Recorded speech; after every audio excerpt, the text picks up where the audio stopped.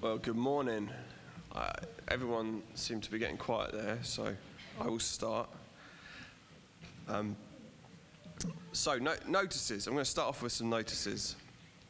Uh, we've got at the back, back in the corner, there's some flyers.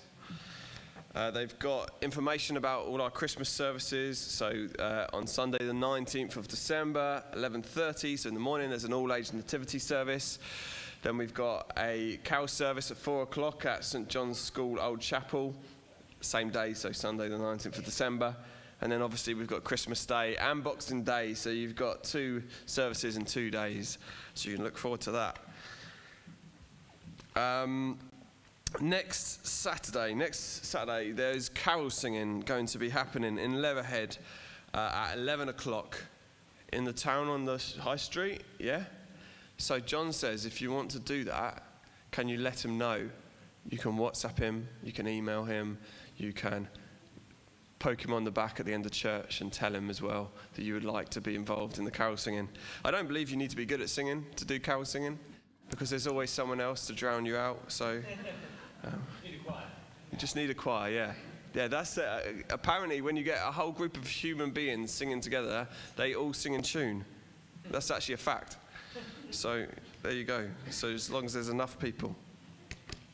Uh, please join me. Actually, no, let's, let's read God's word and then we're going to pray. So uh, we're going to read from John chapter 3, verse 16.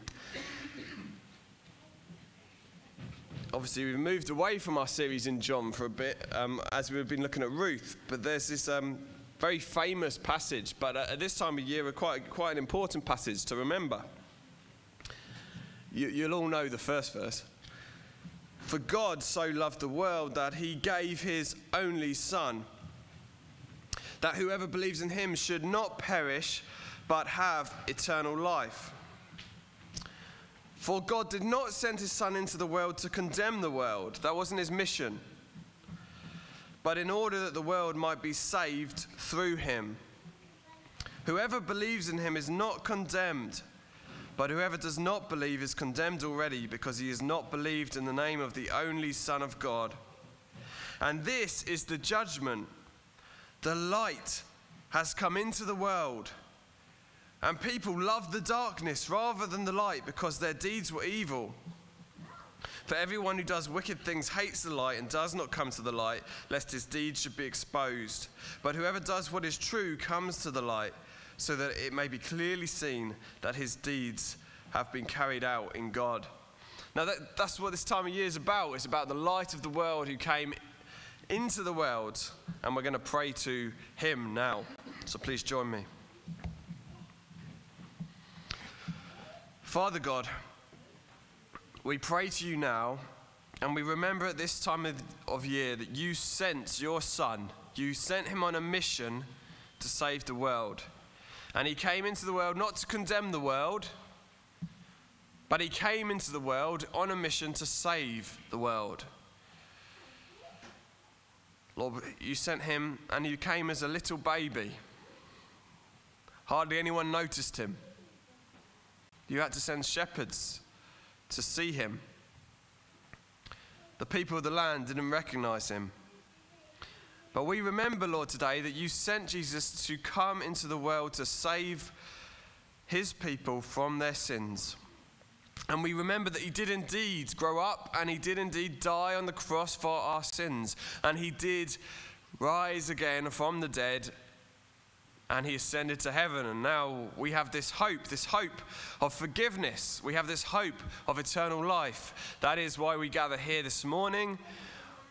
We're not here just to come to church as some sort of tradition, but we're here to praise the living God, the one who is reigning in heaven right now, the one who has promised to return and to bring his people to himself, the one who has saved his people from their sins, Lord. And we praise you this morning that you saved us from our sins. We want to praise you this morning. We want to worship you this morning, Lord. You are worthy of our praise. We're astounded at your grace towards sinners like us. And we want to worship you today with our hearts. Lord, would it not be an outward worship? Would we not be praising you, um, but inside our hearts we don't really care? Would we not be standing here and singing, but in our hearts we wouldn't be bothered? Lord, we pray the opposite would be true, that in our hearts that we would be eager and keen to love you with all of our being, that we would remember how much you've done for us and we would love to praise you. Lord, please help us now as we raise our voices to sing, as we um, pray to you, as John comes to speak, would we be eager to listen to what you have to say through your word? Lord, we pray you would be present this morning. We ask this in Jesus' name. Amen. Okay, we're going to sing to that great God. We're going to sing about the fact he's so holy. There we go. Holy. He's set apart. He's righteous. Holy, holy, holy. Please stand up and we will sing this song.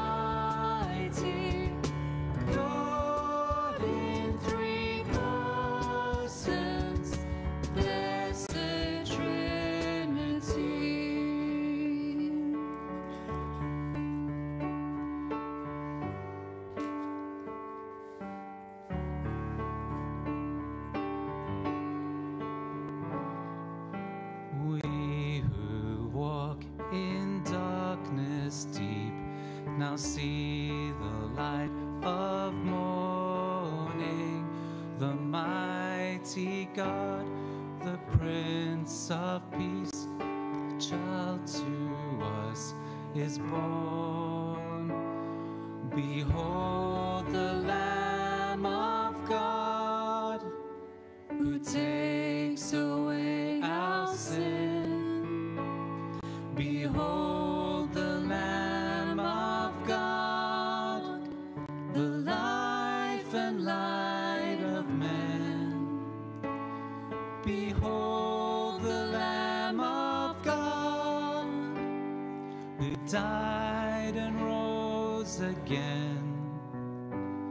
Behold.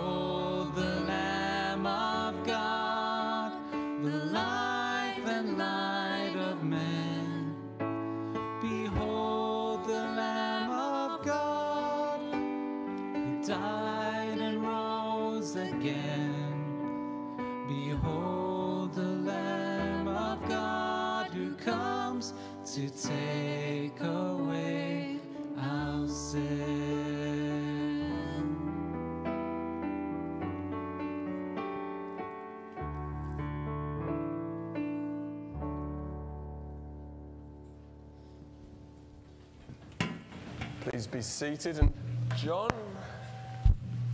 going to come to the children's talk? Yes. Yes, he's got a children's talk. Great.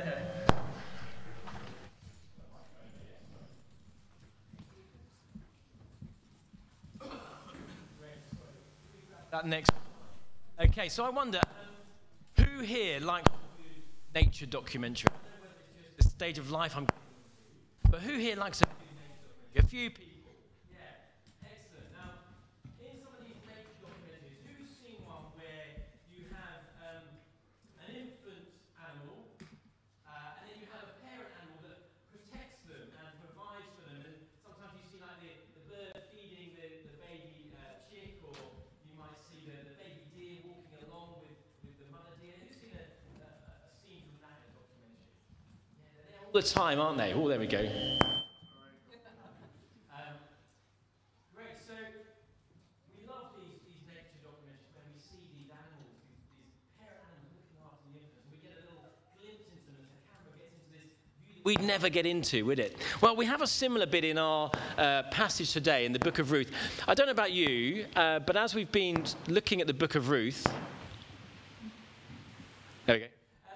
book of Ruth, I've found it like a bit of a kind of a hug from God.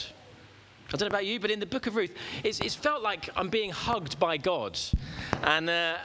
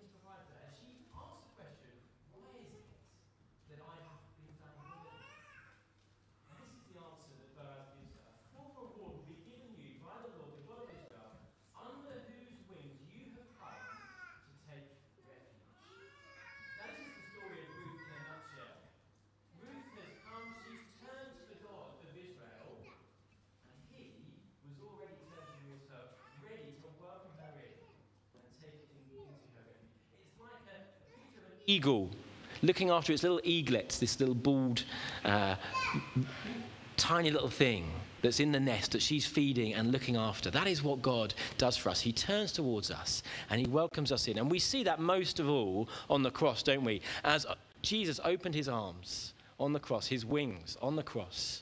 And we just simply have to turn to Him. And as the verse says, take refuge under Him. That's what we see in the book of Ruth this foreshadowing, this picture that is preparing us for when Jesus comes. And that's what we're going to be thinking about this morning in here. If you're not in here and you're in Sunday school doing something equally fun, at the dinner table today, you can ask your parents, I'd love to hear more about that. Can you tell me? And hopefully you'll have a wonderful discussion about what you learned and what, what they learned. So let's pray that God would teach us this morning from His Word, that we would feel that, that, uh, that welcome from the Lord this morning, that we would rest and find refuge in His wings. Heavenly Father, we thank you so much that we come together this morning here to praise you, to turn towards you. Lord, as we sit here towards, facing towards you this morning, would you meet with us? Would we find refuge in you?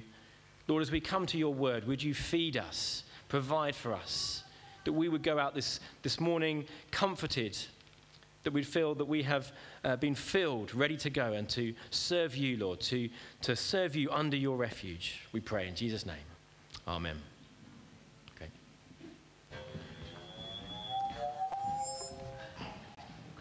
Something taken off. We're now going to have a third song. Um, so if the musicians can come up, uh, we're going to do Prepare Him Room. And in the last verse, if the young people can make their way out.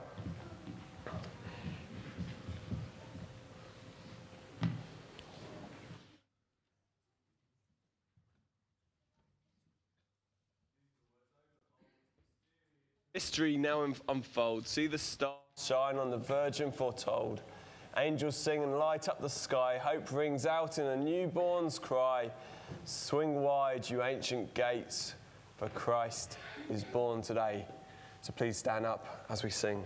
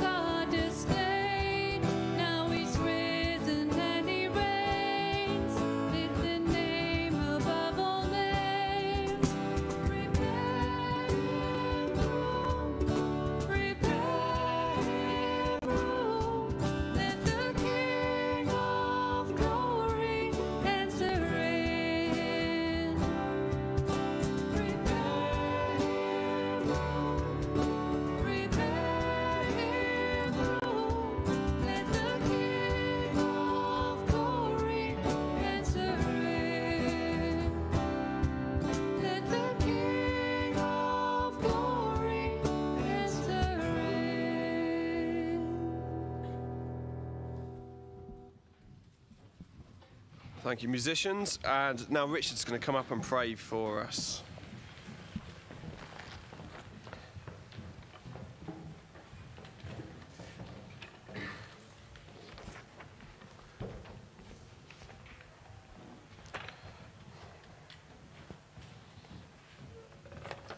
Uh, Will you join with me as I as I pray for our our Lord God? I pray that the Lord God, Heavenly Father, how majestic is your name, your will. Righteousness and justice are the foundation of your throne. Steadfast love and faithfulness go before you. How manifold are your works, whose wisdom is faithful. We give you thanks for the grace and faith we have in our Lord Jesus Christ, and for the abundant mercy that are being each morning. That we have sinned against you and against our neighbour. In thought, word, and deed, we have done wrong in your sight. We confess our transgressions and repent in repentance and faith. Have mercy upon us, O Lord, and cleanse us from our sins, and restore to us the joy of our salvation, through Jesus Christ our Lord. O Lord, we lift up to you our brothers and sisters in many places who suffer for their faith in our Lord Jesus Christ. Many have been martyred this year, and many more injured or deprived of homes, lands, and livelihoods. May you uphold them and strengthen them to stand firm on the rock that is Jesus Christ our Lord, and bless them with every spiritual blessing of the heavenly places above. May you guide our government in all areas to make decisions and pass laws that are in alignment with your eternal word.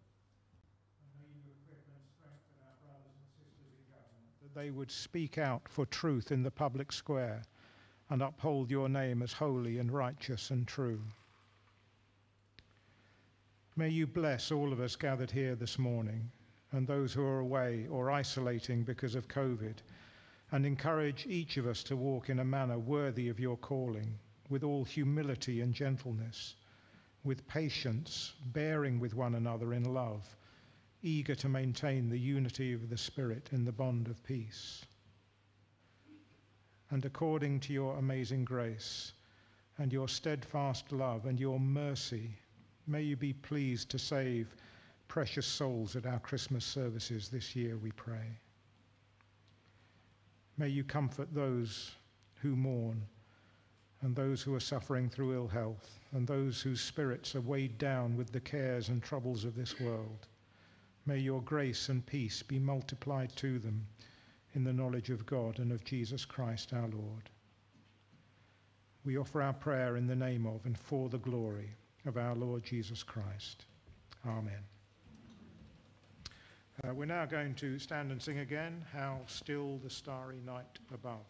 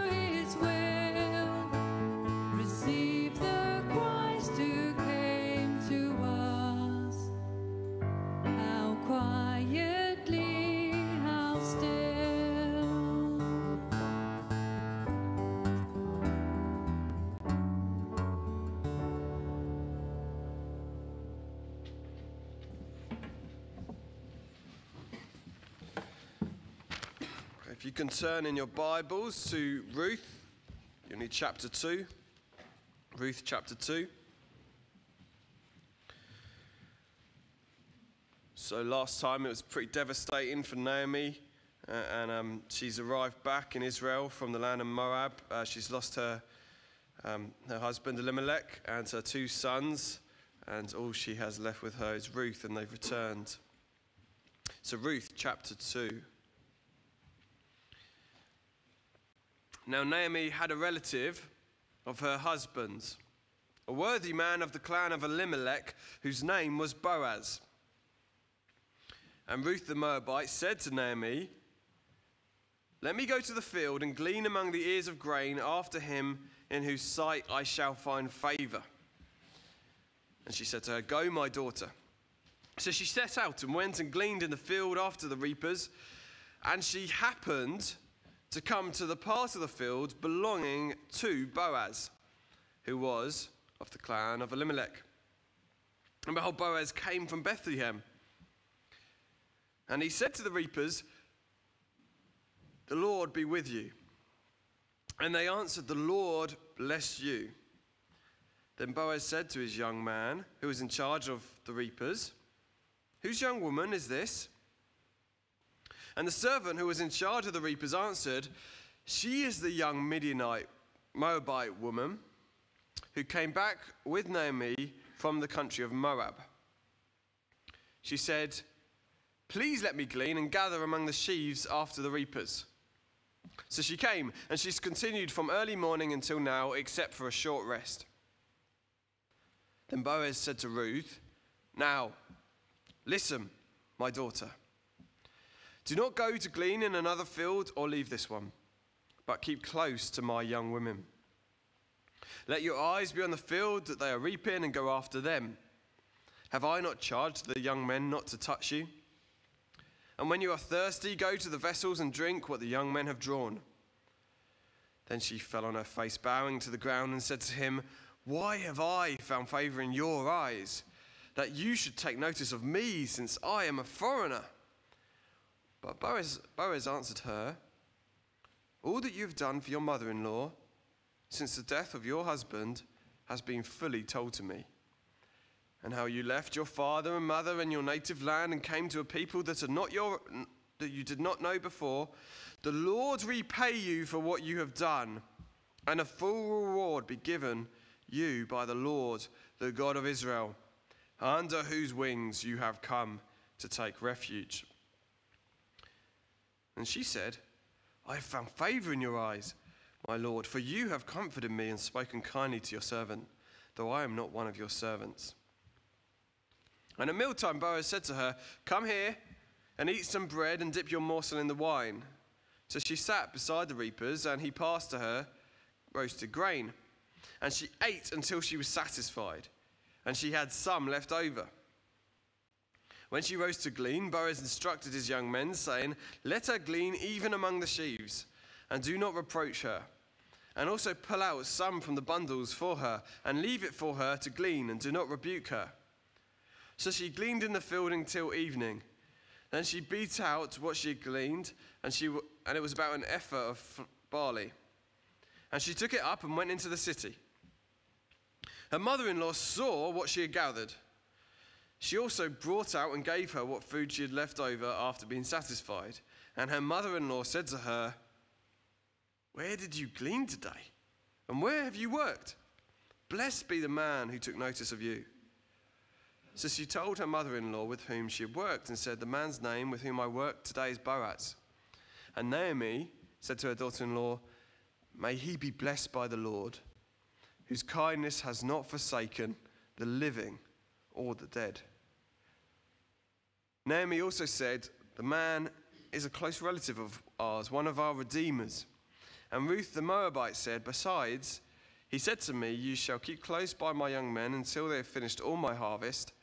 And Naomi said to Ruth, her daughter in law, It is good, my daughter, that you go out with, this, with his young women, lest in another field you be assaulted. So she kept close to the young women of Boaz, gleaning until the end of the barley and wheat harvests, and she lived with her mother in law. Now um, John is going to come up, he's over there, and speak to us.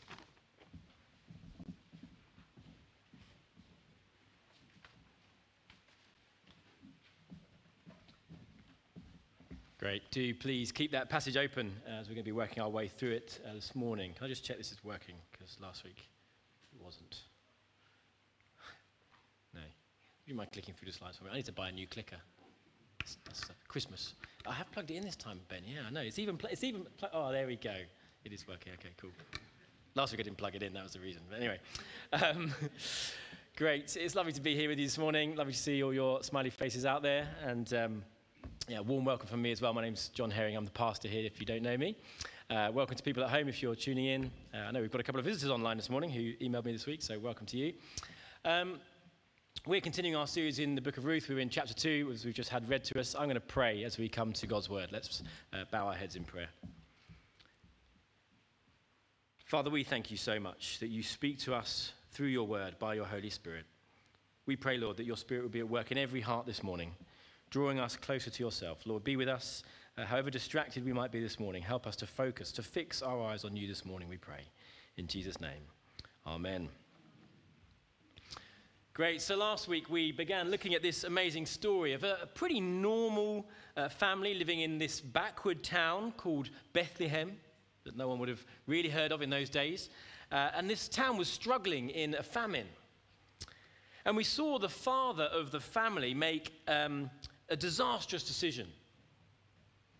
This man was Elimelech, and his decision was to lead his family away from God's land and his people and into the land of their historic enemies, the Moabites.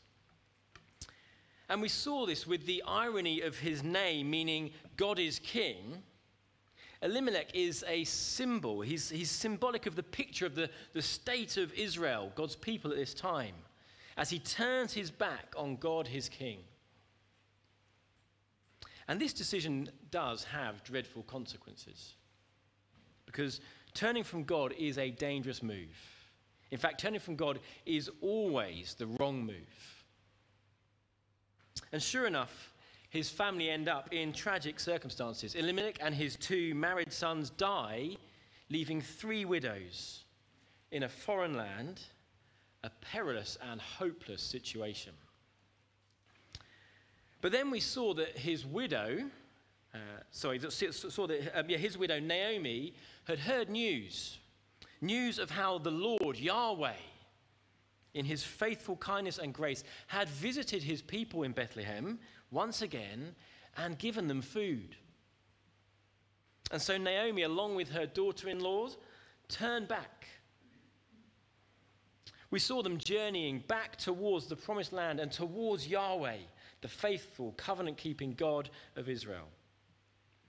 Yet we also saw that even as Naomi turned, she was still entangled in, in a bitterness of heart. To the point that um, her doubt and confusion led her to, to try to send her daughters, uh, daughters in law back to their home in Moab. You see, Naomi's family turned from God. And as a result, she has lost everything. And so now, as far as she can see, God is against her. How can staying with her be good for her daughters in law? That's what she's thinking. She knew enough to know that turning back to God was the right move, yet not enough to be sure that He could truly be for her that he could provide for her personally. But we, as readers of the story, have a different point of view. We look from the outside, don't we? We can see the whole picture. And as the chapter ended last week, we saw that there were two rays of light shining brightly into the darkness of Naomi's story. Chapter 1 uh, and verse 22 uh, said this So Naomi returned, uh, and Ruth, the Moabite, her daughter in law, was with her, who returned from the country of Moab. And they came to Bethlehem at the beginning of the barley harvest. So Naomi arrives back to a very different Bethlehem to the one that she left. Because she arrives not to famine, but to the harvest. You see, Naomi's return is set against the big backdrop of the amazing mercy of her God to his people. Having disciplined them for their hard hearts with famine, he has now turned once again in mercy towards them and provided food for them. Yahweh, the faithful God, has turned back to his faithless people, Israel. But the irony is that even though Naomi sees this, she doesn't expect him to turn to her personally in mercy. And so in verse 20 to 21, as she returned, she declares to the women of Bethlehem, Do not call me Naomi, call me Mara, for the Almighty has dealt very bitterly with me. I went away full, and the Lord has brought me back empty. All that Naomi can see is all that she hasn't got. And as a result, she assumes that God has turned his back on her. She wants people to call her bitter. So sure is she that God is against her. Yet the author is quick to remind us Naomi hasn't actually arrived back in Bethlehem empty, has she? She hasn't arrived alone. She has her devoted daughter in law by her side. And despite Naomi's encouragement to her daughter in laws to turn back, we saw last week how Ruth refused. In fact, Ruth expressed an unexpected covenantal commitment to Naomi, which refused to let go. And back in chapter 1, verse 16, we saw what was at the heart of this extraordinary devotion as she said to Naomi, Your God will be my God. In the darkness and bitterness of Naomi's situation, God has graciously provided in a way that Naomi least expected. Because God is at work in and through this tender hearted Moabite woman who has more faith in Naomi's God than Naomi does. And whose faithfulness towards Naomi expresses God's own heart, own faithful heart. And his faithful sovereign hand is about to be seen as he leads Ruth into the path of another character through whom God is going to weave good into Naomi's life. Because now, as we begin this second chapter, we're going to see more evidence of how God has indeed turned towards Naomi, whether she sees it yet or not. Because now we're told in verse 1 about a relative of her husband, a worthy man of the clan of Elimelech. Now, this sentence is rich with hope as well. As we said last time, to be a widow in these times was perilous. A widow had no source of income, no provider, no security. But unlike in Moab, where Naomi was a foreigner and there was no care for widows, in Bethlehem there's family. And under the loving law that God established for his people back in the Old Testament times, widows were to be looked after by their deceased husband's um, extended family. And here at the beginning of our second chapter is another bright ray of light poking through the chinks in Naomi's darkness. Elimelech's, uh, Elimelech, Naomi's husband, led her away from God and into the darkness of his judgment. But here is a man now with a different heart. And so now we see that there's not just one, but two godly people that God has brought into Naomi's life. Two people through whom God is going to unexpectedly bring blessing into her life. Because in this chapter, we will see that God brings astonishing blessing to those who turn towards him. It begins with Ruth, who completely astonishingly takes the initiative to care for her mother in law, showing the extent of her commitment to her. Because as a single woman, alone and defenseless in a foreign land, she now proactively goes out to find food and work to provide for her and her mother in law. And yet, as she heads out in verse 2, we're given another window into her heart. Because unlike Naomi, we see that she positively expects that Yahweh will provide. Look down with me at verse 2. Let me go to the field and glean among the ears of grain after him, in whose sight I shall find favor. Ruth, the Moabite, goes out into a foreign land, confidently trusting that she will be provided for. And as we read what happens next, we, we can, sorry, as we read what happens next, we can almost imagine the, the twinkle in the author's eye as he writes verse 3. And she happened to come onto the part of the field belonging to Boaz, who was of the clan of Elimelech. Ruth's faith is not disappointed because by God's gracious sovereign hand, she miraculously wanders into the field belonging to no other than the worthy Boaz that we've just heard about. It, would be too good to believe, wouldn't it? Unless you believe, as Ruth does, that God is at work for good. And so now Boaz enters the story. And it's an awesome moment. I just want you to picture it. It's early morning. The sun is just coming up over the cornfields. It's a beautiful scene. And in rides this man. This man that we're desperate to meet, Boaz, the owner of the field. You can picture it in a film, can't you? The hero arrives. And just listen now to how he greets his workers and how they respond. Look at verse 4. Behold, Boaz came from Bethlehem, and he said to the reapers, The Lord be with you. And they answered, The Lord bless you. Is that how you walk into your workplace? Here is a man whose life is so saturated with a deep relationship with God that it pervades every area of his life. Here is such a godly man that as a boss, his primary concern for his workers is their godliness. Above finding out how their work is going, he cares for them and their spiritual walk with the Almighty. It's a beautiful introduction to this man, isn't it? And we will see that this moment is reflective of the whole of this man's life. That, these aren't just kind of holy platitudes that, that he says as out of kind of religious conformity. Here is a man who's, who has a heart that reflects God's own heart in his words and deeds, just as Ruth does.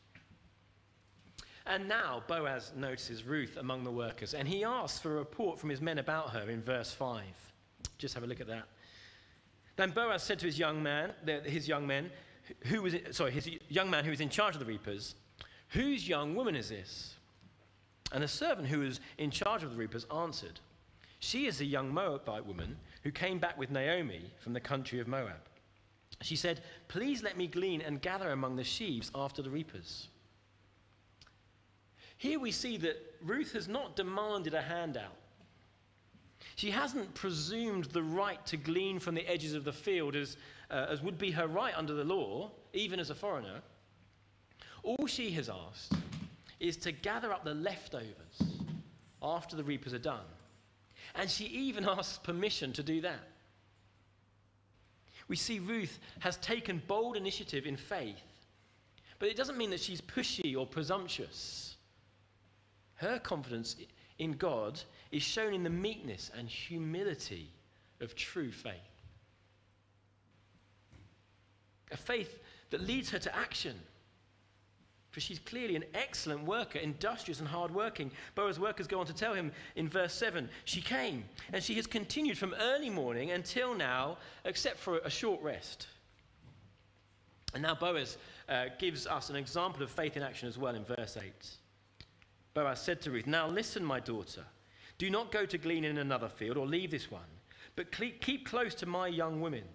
Let your eyes be on the field that they are reaping, and go after them. Have I not charged the young men not to touch ye? And when you're thirsty, go to the vessels and drink what the young men have drawn. I think in the middle of those verses, it's a sad indictment on human nature and our fallen world that Boaz has to say this, isn't it? But sadly, it's as contemporary as it is historical. That sin leads to abuse and mistreatment of the vulnerable. And Boaz knows that as a woman, not least a foreign woman, Ruth is vulnerable and at the mercy of men. Yet there's not a hint of manipulation or abuse of that, that vulnerability from him, is there? Quite the opposite. Boaz shows the sort of godly care and protection for Ruth that we wish we would see more of in our world, doesn't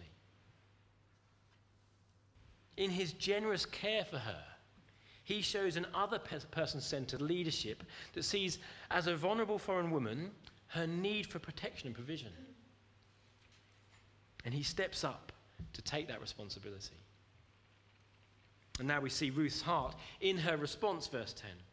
She fell on her face, bowing to the ground, and said to him, Why have I found favor in your eyes, that you should take notice of me, since I'm a foreigner?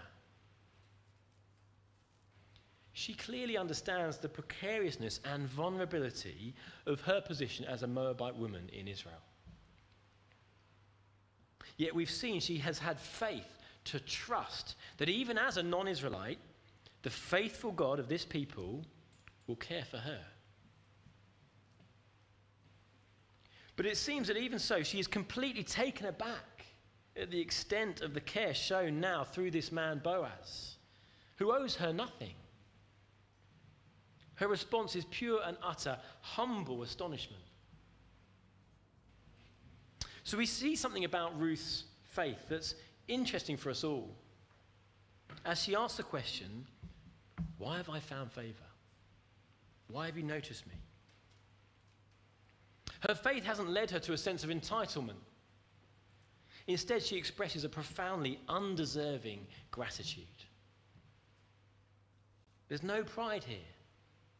She's amazed by the grace of Boaz. And she, and she receives his grace with joy. Uh, John Piper says this Grace is not intended to replace lowliness with pride, it's intended to replace sorrow with joy. Ruth can't quite take it in. But Boaz isn't out for any glory here. He's not uh, about to take the credit, verse 11. Boaz answered her, All that you have done for your mother in law since the death of your husband has been fully told to me, and how you left your father and mother in your native land and came to a people that you did not know before. The Lord repay you for what you have done, and a full reward be given you by the Lord, the God of Israel, under whose wings you have come to take refuge. Clearly, Boaz sees any provision that he can provide as a simple outworking of the heart of his God towards all who turn to him. His aim is to confirm to Ruth the rightness of what she has done in turning to the faithful Yahweh. And so he says, verse 12, The Lord repay you for what you've done. Now, on first reading, it could sound a little bit like Boaz is answering her question by saying she's earned the Lord's favor through her good deeds. But what is it that Ruth has done? Well, Boaz's final sentence reveals it. A full reward will be given you by the Lord, the God of Israel, under whose wings you have come to take refuge. What is it that Ruth's done? She's left Moab and she has come to the faithful Lord, to Yahweh, to take refuge under his wings. As I said, I quite like nature documentaries, and recently uh, we've turned back to um, Planet Earth, you know, that amazing BBC uh, series from, from a few years back, and I've been watching it with my kids in the evenings. And you get these kind of never before seen footage uh, where they've hidden for days kind of in a bush trying to get this amazing uh, picture or shot of uh, an animal. And it might be that you kind of, yeah, you get this sort of intimate scene, a little bit like an eagle's nest. And in these beautiful scenes, we see the, the bald, uh, helpless eagle, eaglet rather, snuggling under the great, all encompassing protection and provision of their parents' wings. This is the picture that we have of the protection and provision of God. But Boaz's poetry here is not original.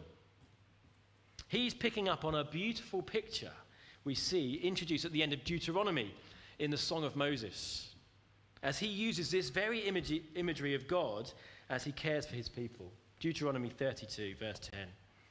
He found him in a desert land, and in the howling waste of the wilderness, he encircled him, he cared for him, he kept him as the apple of his eye, like an eagle that stirs up its nest, that flutters over its young, spreading out its wings catching them, bearing them on its pinions. The Lord alone guided him. I don't think that's an eagle, but it's a, it's a nice sound. Boaz knows well the God who, like an eagle, carries and shelters his people. Yet he knows a truth even greater, an unexpected truth that most Israelites at this time had struggled to grasp that the God of Israel opens his wings to cover anyone who will turn to find refuge underneath them. And that is what we see here, uh, con- confirm, sorry, him confirming here for Ruth.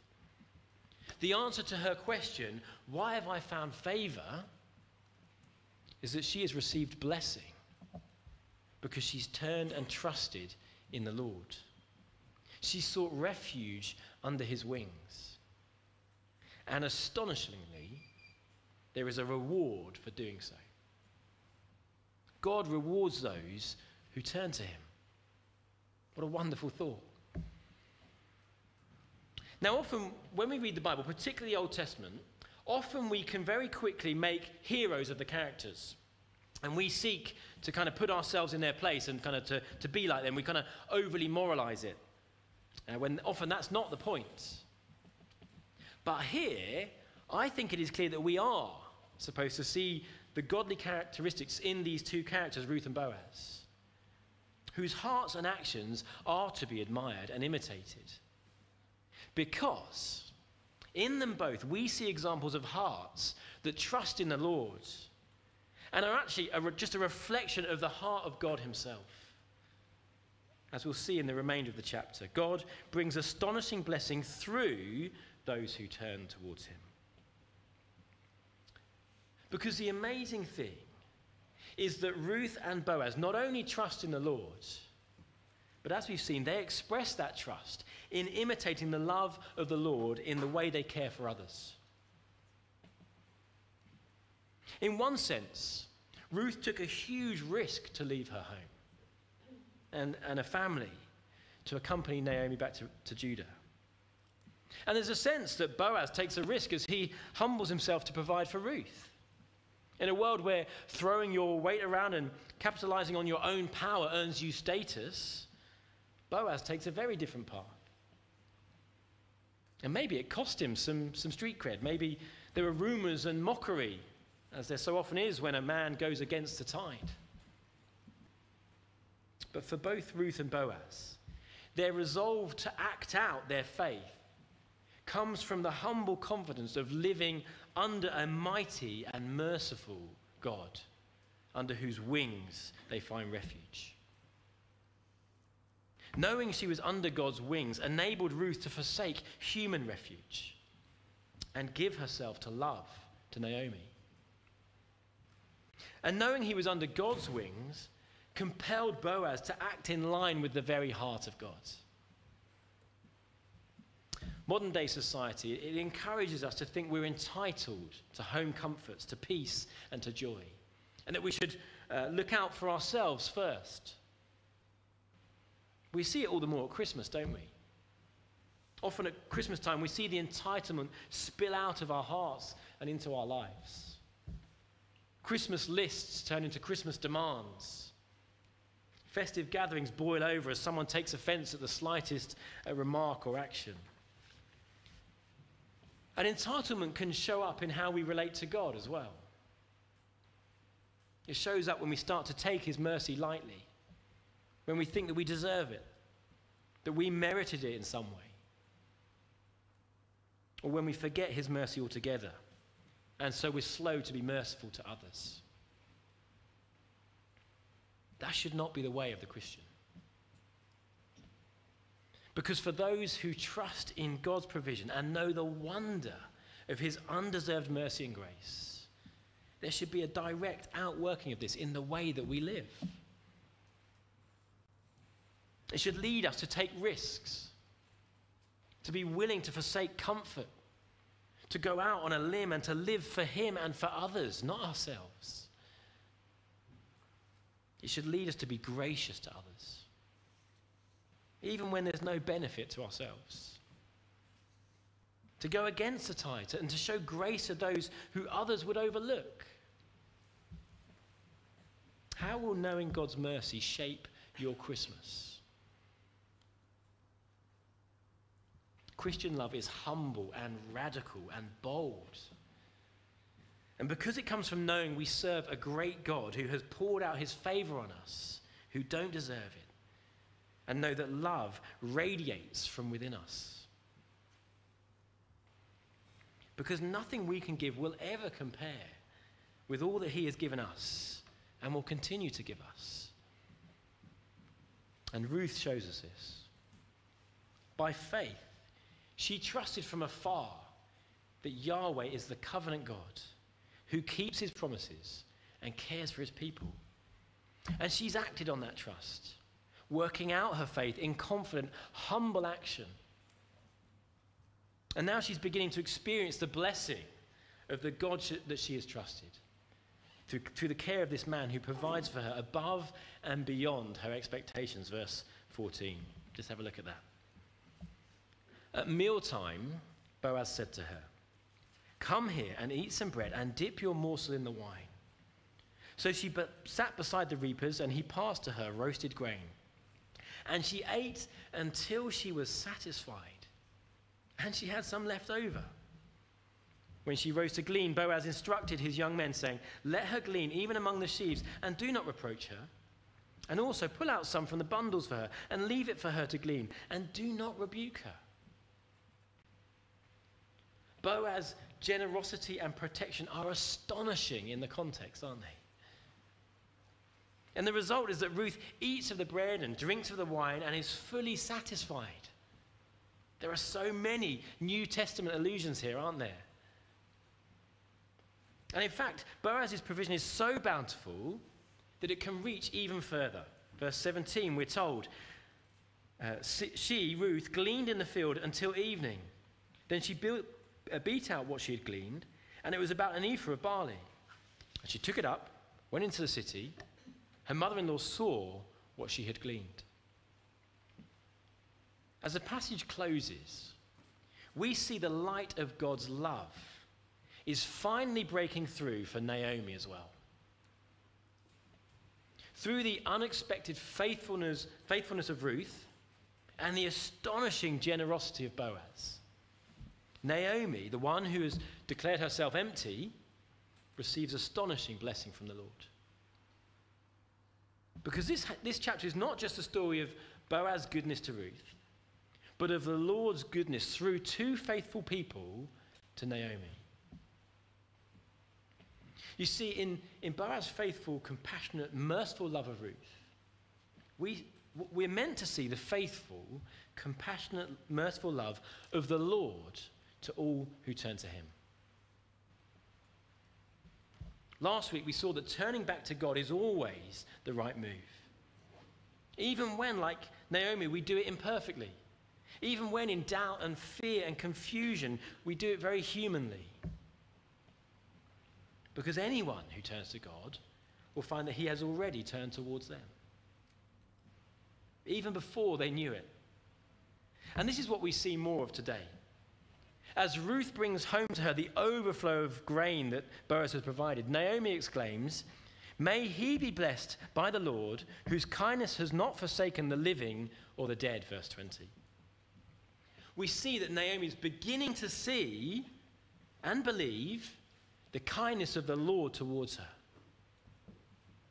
She's beginning to see the same truth cons- confirmed for her as Boaz has confirmed for Ruth that turning back to the Lord is always the right move for anyone. It's the right move no matter who you are an Israelite or a Moabite. And it's the right move no matter what you've done, no matter how far you've turned away from Him, no matter how deep your sin, how devastating the effects of it have been on your life, how far from Him you feel, how empty, however bitter. No. God will have mercy on anyone, Israelite or Iranian, English or French, Syrian or Australian. Anyone who humbles himself like Ruth and takes refuge under his wings. God will have mercy on anyone who turns back to him, no matter what they've done. Because the unexpectedly good news of the gospel is that God already turned towards us before we turn to him. God is at work behind the scenes to bring astonishing blessing to all those who turn to him. Even if your life, like Naomi, feels bitter right now, even if you feel like all you can see is darkness, take heart. If you've turned to him, you can be sure that he is working behind the scenes in ways that you cannot see, in astonishing ways, to bless you. You can be sure that even before you turn to Him, He was working for your good. Because you, you see, in the unfolding of this love story between Ruth and Boaz, we're supposed to see the foreshadowing of the greatest love story. A love story that reaches beyond itself into every single dark story. Because through Boaz, sorry, though Boaz was a great man, there was one who was better. A man who was not just a worthy man, but who was perfect. And shows us the fullness and faithfulness of the Lord's provision. And in whom we can find complete satisfaction. A man to whom the whole world's riches belong, but who gave it all up to provide us with eternal refuge. You see, Boaz's great, great, great, great, great grandson's name was Jesus Christ. And in his kindness, he came down, leaving the riches of heaven, and became a man to save us, to welcome us into his family,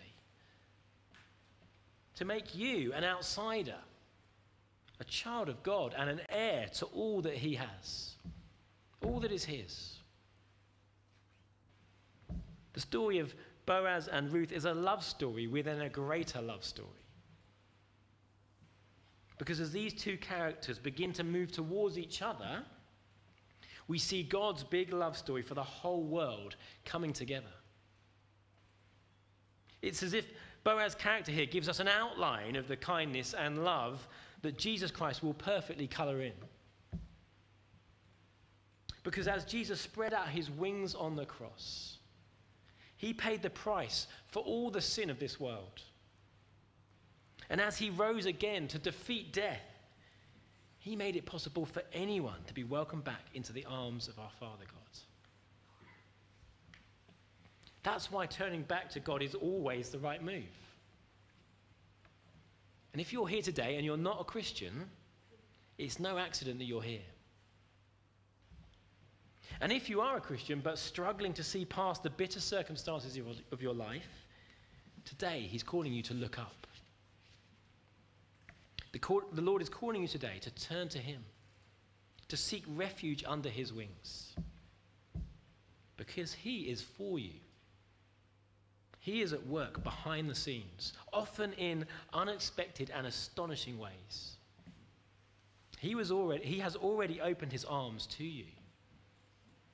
And he welcomes you to the abundant, overflowing table of his love, which will last into eternity. What a wonderful hope. Let's pray.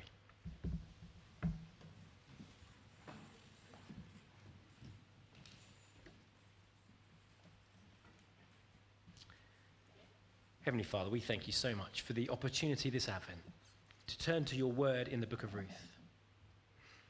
Lord, we thank you that in this little love story in the middle of nowhere, that you were bringing together the greatest love story. That through Boaz's line, a man who, in whom we see the characteristics of Christ, Lord, you would bring about that very Christ who would fulfill that picture fully, who would reveal the love of God in the most miraculous and wonderful and astonishing way as he died on the cross for us. Lord, whatever situation we find ourselves in this morning, would we turn to you? Lord, as we turn to communion now, would we remember your blood poured out for us on the cross, your body given for us, that sacrificial love? Lord, would we remember it? Would we find that true hope in it? And would we emulate it in our lives? And so we pray as we come to the table of communion now, Lord, we would reflect on our own hearts. We would consider the ways that we have not loved you. Lord, we would turn to you. We would turn back to you. And Lord, would we remember your forgiveness?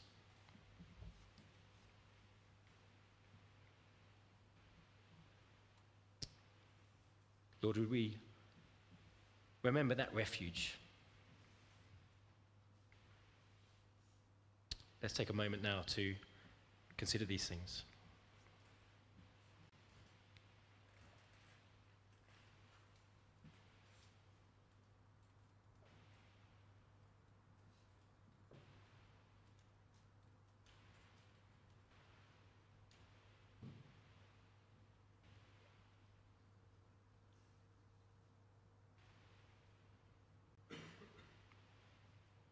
Lord, as we come to your table, we thank you so much for your forgiveness.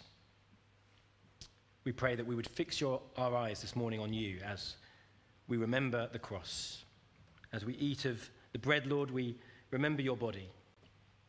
And so we partake of it now with our eyes fixed on you in Jesus' name. Amen. So Nicola's going to, and uh, Nicola and Nick, and anyone else who needs another hand? Is that enough? They're going to bring around the bread now. Uh, just remember there are three bits of bread in each little parcel.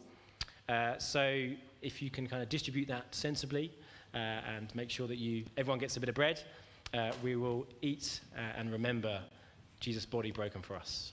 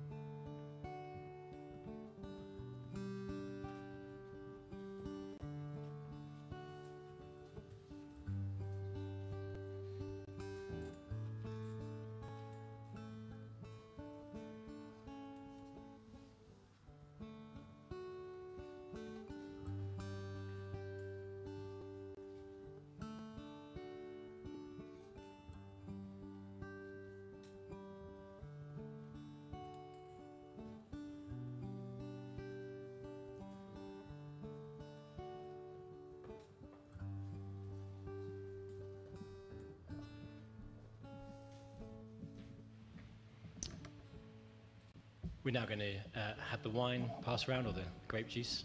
Um, please do take uh, one each, and um, uh, yeah, as it comes around, please just take, take it, hold on to it, and at the end we'll, we'll drink together as a sign of our unity in Christ. So yeah, hang on to your little, little glass.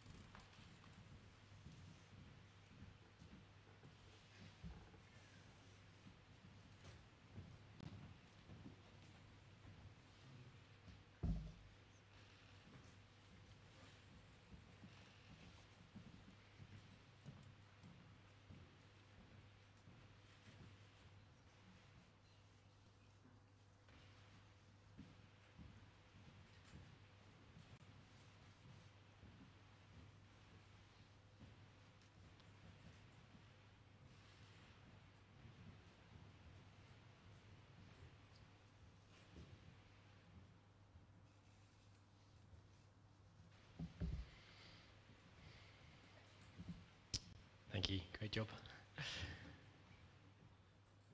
Let us drink together the blood of Christ that takes away our sins.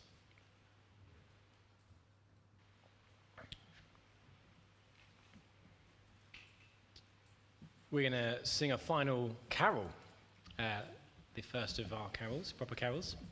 Um, it's a Emmanuel, uh, sorry, a Come, O Come Emmanuel, slightly contemporary version, but uh, hopefully easy to sing along as you'll, you'll know uh, the traditional tune. Um, so as the music starts, please do stand and sing.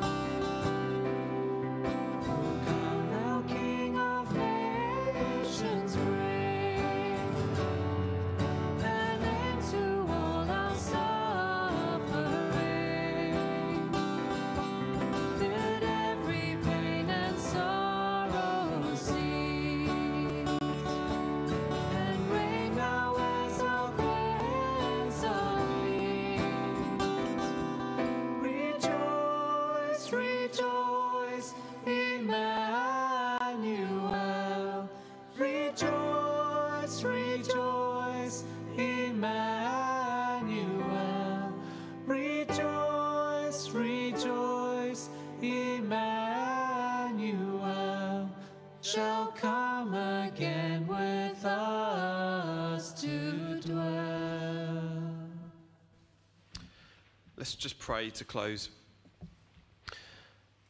Dear Lord, would we take refuge under your wings? Would we not look to things in this world to be our refuge, but you, O Lord, would be our refuge, the one that we go to in our need, and that we would not believe the lies that are told around us, but we would believe your word, Lord, trust in you, that we would be quick to come to you. We ask this in Jesus' name. Amen. Please be seated.